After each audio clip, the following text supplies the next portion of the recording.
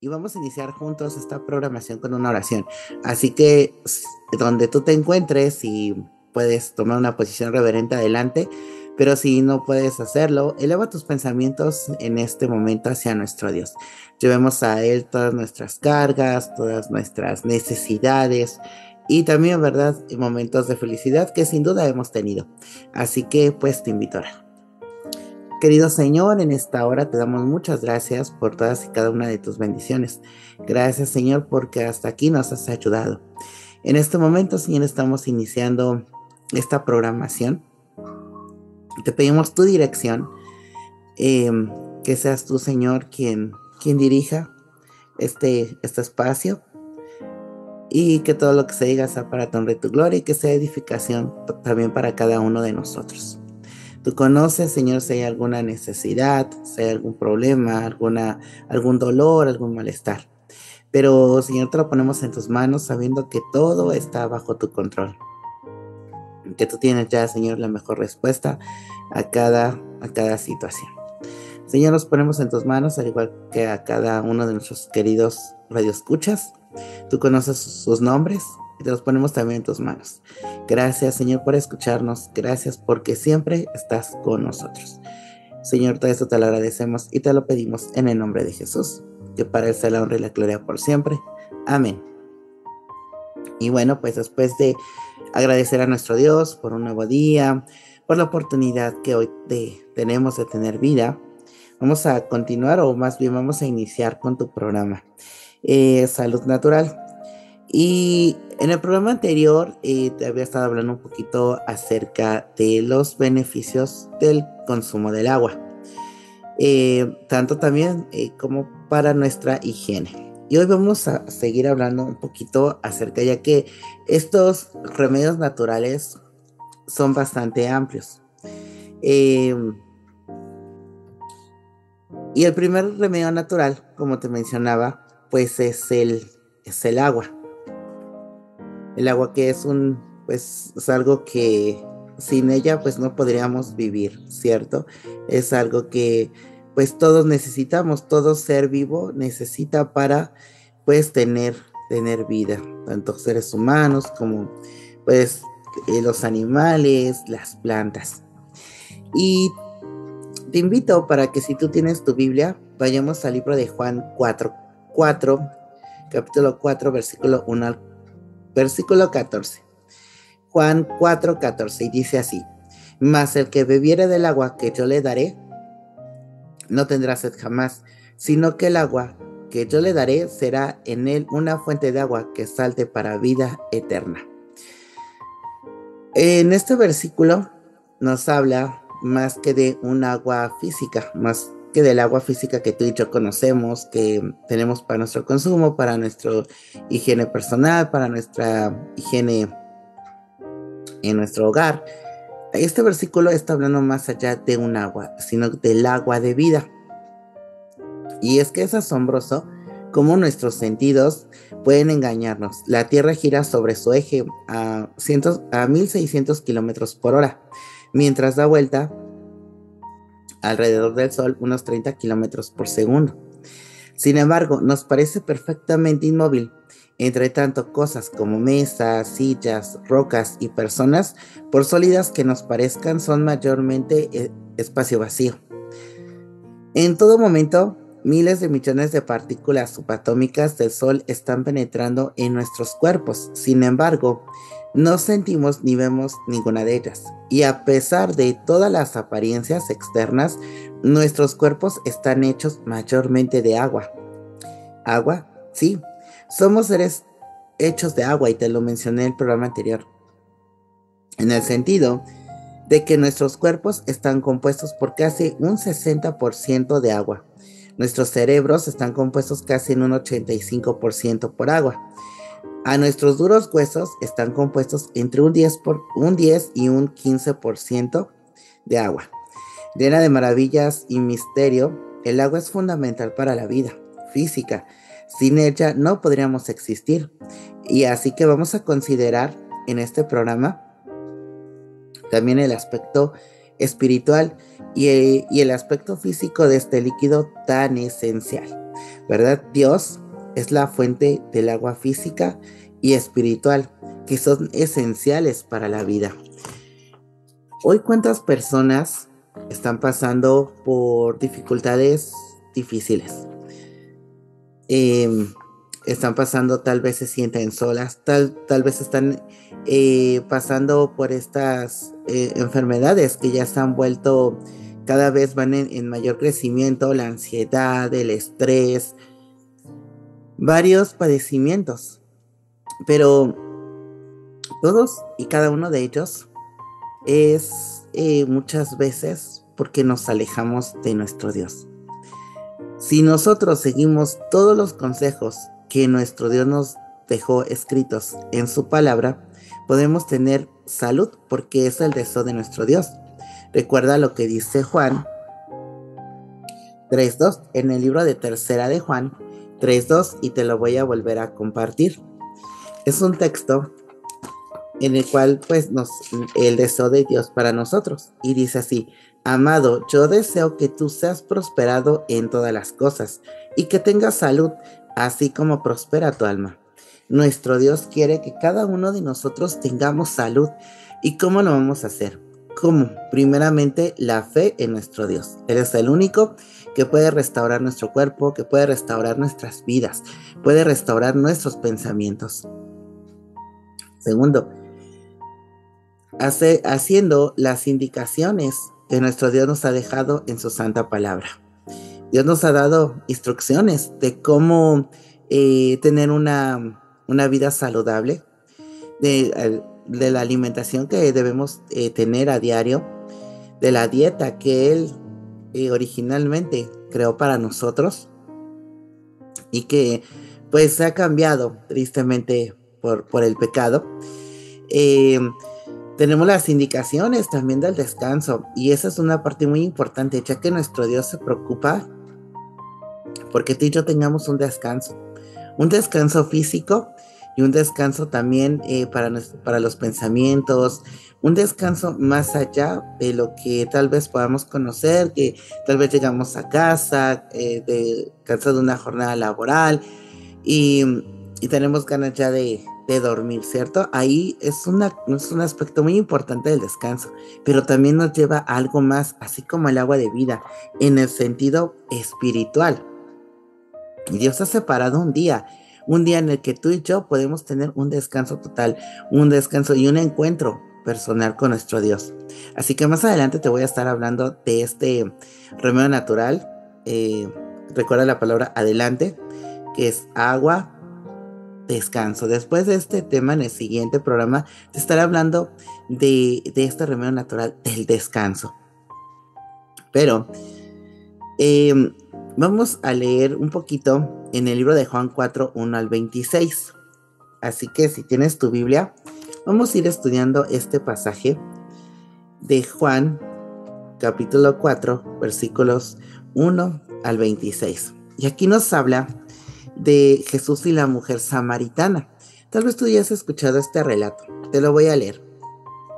Lo vamos a ir estudiando poco a poco y eh, cómo es que este este relato, Jesús está hablando del agua de vida, que Él es el agua de vida. Y dice así, cuando pues el Señor entendió que los fariseos habían oído decir, Jesús hace y bautiza más discípulos que Juan, aunque Jesús no bautizaba, sino sus discípulos, salió de Judea y se fue otra vez a Galilea. Y le era necesario pasar por Samaria. Vino pues a una ciudad de Samaria llamada Sicar, junto a la heredad que Jacob dio a su hijo José. Y estaba allí el pozo de Jacob. Entonces Jesús, cansado del camino, se sentó así junto al pozo. Era como la hora sexta. Vino una mujer de Samaria a sacar agua y Jesús le dijo, dame de beber, pues sus discípulos habían ido a la ciudad a comprar de comer. La mujer samaritana le dijo, ¿Cómo tú siendo judío me pides a mí de beber que soy mujer samaritana? Porque judíos y samaritanos no se tratan entre sí. Respondió Jesús y le dijo, si conocieras el don de Dios y quién es el que te dice, dame de beber, tú le pedirás y él te dará agua viva. La mujer le dijo, Señor, no tienes con qué sacarla y el pozo es hondo. ¿De dónde pues tienes el agua viva? ¿Acaso eres tú mayor que nuestro padre Jacob, que nos dio este pozo del cual bebieron él, sus hijos y sus ganados? Respondiendo Jesús y le dijo, cualquiera que bebiere de esta agua volverá a tener sed, mas el que bebiere del agua que yo le daré no tendrá sed jamás, sino que el agua que yo le daré será en él una fuente de agua que salte para vida eterna. La mujer le dijo, Señor, dame de esa agua para que no tenga yo sed, ni venga aquí a sacarla. Jesús le dijo, ve, llama a tu marido y ven acá. Respondió la mujer y dijo, no tengo marido. Jesús le dijo, bien has dicho, no tengo marido, porque cinco maridos has tenido y el que ahora tienes no es tu marido. Esto has dicho con verdad. Le dijo la mujer, Señor, me parece que tú eres profeta. Nuestros padres adoraron en este monte y vosotros decís que en Jerusalén es el lugar donde se debe adorar. Jesús le dijo, mujer, créeme que la hora viene cuando ni en este monte ni en Jerusalén adoraréis al Padre. Vosotros adoráis lo que no sabéis, nosotros adoramos lo que sabemos, porque la salvación viene de los judíos.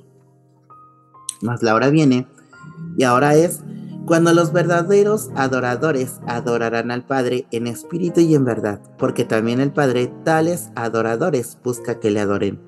Dios es espíritu y los que le adoran en espíritu y en verdad es necesario que adoren. Le dijo la mujer, sé que ha de venir el Mesías llamado el Cristo. Cuando Él venga nos declarará todas las cosas. Jesús le dijo, yo soy el que habla contigo. En este relato podemos ver que Jesús se, encontró con una mujer en Samaria que había ido a buscar agua al pozo de Jacob. Le pidió agua de beber. En la conversación le dijo que él podía dar un tipo de agua que le quitaría la sed para siempre y se refirió a sí mismo como el agua de vida. Este concepto implica su capacidad para satisfacer la necesidad de paz, de gozo, libertad de culpa, de perdón y de unión con Dios. Pues, ¿Cuántas personas en la actualidad están en busca de paz, de encontrar gozo, de, encontrar una libertad de culpa, de, también poder otorgar el perdón y ser perdonados, y también de una unión con nuestro Dios? Hoy muchos em, padecimientos, tal vez como el estrés, la ansiedad, te llevan, eh, estos padecimientos también son pues originarios por el pasado, tal vez cosas que tú, has, que tú estás sintiendo culpa o que, o que tú necesitas perdonar. Sabes que también ciertos tipos de cáncer son originados por esto, por guardar rencor. Necesitamos perdonar las cosas que tal vez ocurrieron en el pasado y necesitamos también ser perdonados. Nuestro Señor Jesús está presto para que tú y yo acudamos a Él y, Él nos perdona, pero nosotros eh, debemos de ponernos en sus manos para que Él transforme nuestra vida, nuestros pensamientos y nuestro corazón y también podamos perdonar ciertas cosas que tal vez hemos vivido en el pasado. Y en este texto, los cristianos encuentran esta solución en Jesucristo. Él nos ha ofrecido a todos la oportunidad de ir y unirnos con Él en servicio. Su oferta todavía es válida para hoy, porque Él no cambia nunca. Muchos han encontrado que su intranquilidad y sus inseguridades se transformaron al participar de su compasión de su amor y su aceptación. Dios nos ha prometido abundante agua espiritual mientras lo busquemos a Él. En Apocalipsis 22, 17, vamos a leerlo.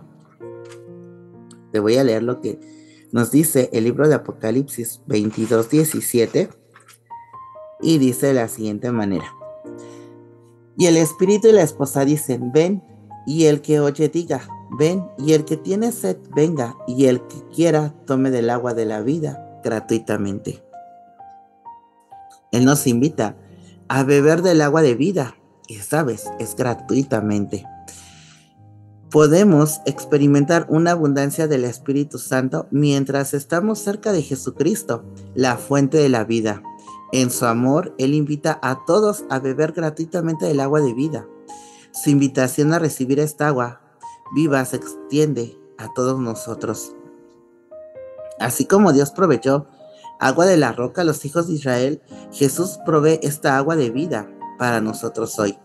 No importa quiénes seamos, no importa cuál haya sido nuestro pasado, no importa cuál sean nuestros errores, incluso no importa cuál sea nuestra situación actual. La oferta de esta agua viva es para cada uno de nosotros. Se nos indica que bebamos de ella libremente y gratuitamente. Se nos ofrece por a todos por medio de la gracia de Cristo. Y en este relato de esta mujer samaritana, eh, los judíos y los samaritanos no se podían ver, eran enemigos. Entonces, pues para esta mujer fue algo difícil de, de aceptar. Porque pues no se le acercaban también eh, pues toda la gente pues para una manera eh, pues vamos a decir amigable. Tal vez ella era una persona, una, una chica, una mujer que pues no había recibido el trato que ella le hubiera gustado en su infancia. Así que pues cuando ella tuvo una edad mayor, pues decidió eh, pues comenzar una, una vida ella, comenzar una familia. Así que pues ella eh, pues se unió en matrimonio con una persona. Pero no fue lo que, lo que ella esperaba. Hoy cuántos en este en la actualidad están de la misma manera. Tal vez están desesperados de salir de casa porque tal vez encuentran que hay restricciones, porque tal vez eh, sienten que es mucha la presión eh, en sus hogares, o porque tal vez el maltrato físico o psicológico también. muchas personas en nuestra actualidad están de la siguiente manera, buscando, ¿verdad?, ser comprendidos, buscando ser amados. Así que esta joven hizo esto, pero no funcionó. Conoce a otra persona, a otra y a otra. Porque, como ya leímos, ella había tenido varios matrimonios y varios fracasos. Eh, su mente siempre estaba llena de recuerdos hirientes. Hoy en nuestra actualidad tal vez tú tengas recuerdos hirientes, pensamientos dolorosos y su corazón permanentemente se sentía vacío. En nuestra actualidad hay muchas personas que, que sienten un vacío en su corazón, no importando tal vez que tengan fama o que tengan una posición económica estable. Hay muchas personas famosas que se han quitado la vida. Y tal vez nosotros podemos pensar, pero ¿cómo? Pues tiene fama, es una persona con una buena posición económica, es una persona em, tal vez carismática, por eso ha ganado fama. ¿Cómo es posible? Pues sí, déjame decirte que es posible, porque en su corazón hay, una hay permanentemente pues un vacío. De forma inconsciente, esta mujer en, este relato acomodó la vasija en su cabeza y empezó a el agobiante y tedioso regreso a su monótona vida vacía. ¿Sabes por qué esta mujer salía a esta hora o salía más bien esta mujer salía a mediodía, cuando los rayos del sol son más fuertes. Ella iba a buscar agua para su consumo, ya que, como ya hemos aprendido, y esto se sabe, ¿verdad? Desde que tal vez eh, has estudiado en la escuela, que sin agua pues nadie puede vivir, y la ocupamos para todo. Entonces, pues la gente iba a buscar agua a ese pozo, pero no en esa hora. Le iba a buscar, esta mujer le iba a buscar a la hora más calurosa, porque sabía que en esa hora no había gente, no había gente que la criticara, no había gente que le dijera pues malas palabras, que la hiriera aún más de lo que ya estaba. Hoy cuántos tal vez tienen miedo igual de esta manera y buscamos tal vez algún refugio, no salir de casa eh, y buscamos no encontrarnos tal vez, ¿verdad?, en público por el miedo al rechazo, por el miedo a, a ser heridos más de lo que ya pues estamos. Entonces esta mujer se sentía así, por eso es que fue hasta ahora. Y pues se le acercó eh, una persona. Era un hombre el que le pedía un favor a ella. Ella estaba tan habituada a pedir y rogar que alguien satisfaciera su necesidad, su sed de aceptación y amor. Y es que además, si algún hombre se le acercaba, pues no era precisamente para pedirle agua. Pero por su acento y sus vestiduras era obvio que era un judío, quien le hacía la petición, ella, que era samaritana, nunca le hubiera pedido un favor a alguien de esa nación. Eran pueblos enemigos, por tradición. Sin embargo, era él quien le estaba pidiendo agua, y ese era un favor que ella y ninguno que viviera en esa región del mundo podía pasar por alto. No tenía opción. Así que, pues la mujer hizo una pregunta. ¿Cómo se te ocurre pedirme agua? Si tú eres judío yo soy samaritana. Jesús había tomado la ruta menos común hacia su destino Galilea, porque sabía que esta mujer vivía una vida vacía y necesitaba llenar el cántaro, pero de su corazón, con el agua de vida, con el amor más misericordioso de todos. Hoy nuestro Señor Jesús también está pasando por el lugar donde tú te encuentres. No importa si es un lugar caluroso, no importa si es un lugar eh, oscuro, no importa. Él está pasando en este momento por donde tú estás y quiere también llenar tu corazón con el agua de vida, con el amor más misericordioso de todos. Jesús sabía que esta mujer estaría allí, sola, sedienta, anhelante, sufriente y rechazada.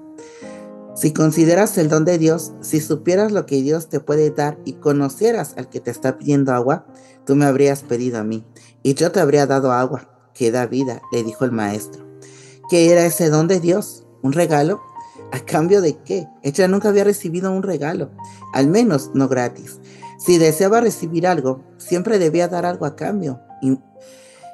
Esta mujer no tenía ni la menor idea quién estaba frente a ella, el creador de todas las fuentes de agua de la tierra y del universo entero. Si bebes del agua del pozo volverás a tener sed, aseguró Jesús, pero si bebes del agua que yo te daré, no volverás a tener sed jamás, sino que dentro de ti esa agua se convertirá en un manantial del que brotará vida eterna. Así que ella pues respondió, Señor, dame de esta agua para que no vuelva a tener sed, ni venga, ni siga viniendo aquí a sacarla. Hoy, yo creo que cada uno de nosotros queremos también de esa agua, de esa agua de la cual eh, podamos tener eh, o podamos saciar nuestras necesidades, podamos eh, tener gozo, paz, tranquilidad, Jesús le dijo, ve a llamar a tu esposo y vuelve acá. Indicó directamente Jesús, y sabes, había salido el tema reducir. Era eso precisamente lo que había marcado tanto su vida, lo que le causaba tanta frustración y dolor. Sus fracasos, su inmoralidad la castigaban y la laceraban. Era la razón que la traía a esa hora solitaria del día bajo el sol quemante, hasta ese pozo de Jacob, hasta esta agua que no podía saciar su necesidad más íntima. Ella respondió, no tengo esposo.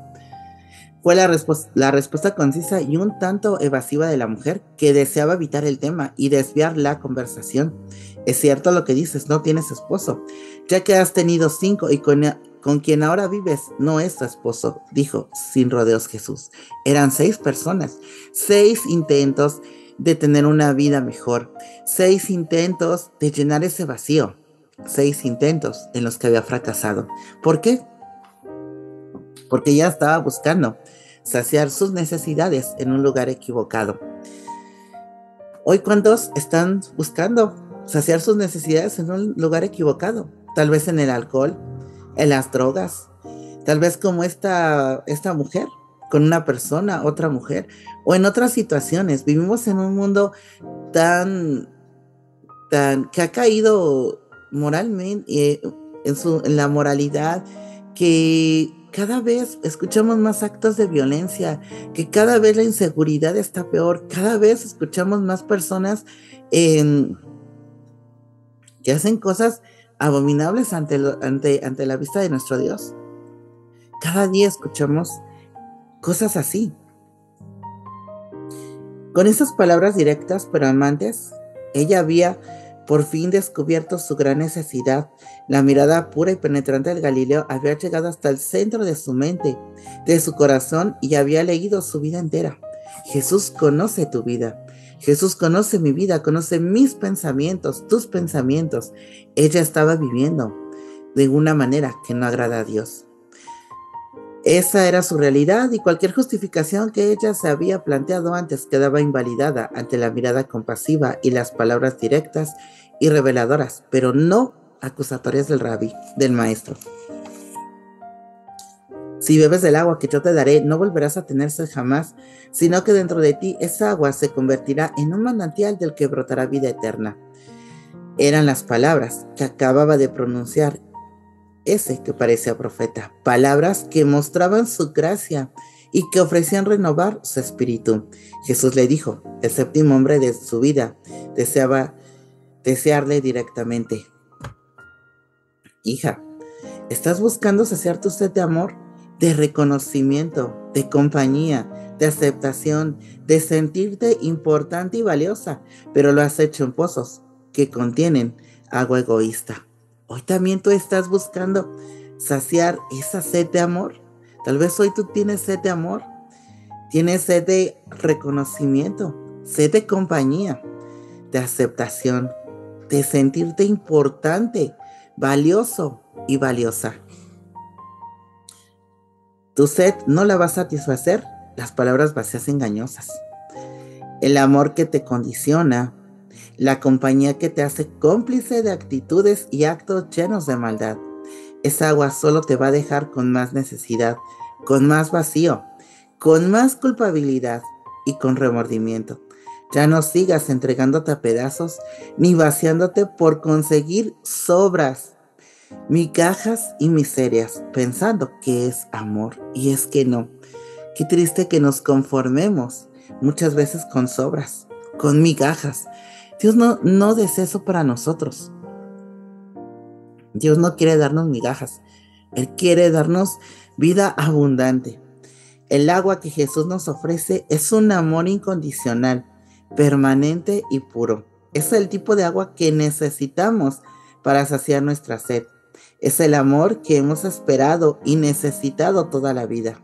A veces ni nosotros mismos sabemos que nuestro pecado nos ocasiona tanta sed de amor y de aceptación. El Salvador recorrió la ruta menos común hacia Galilea, pero la más directa para llegar a ella.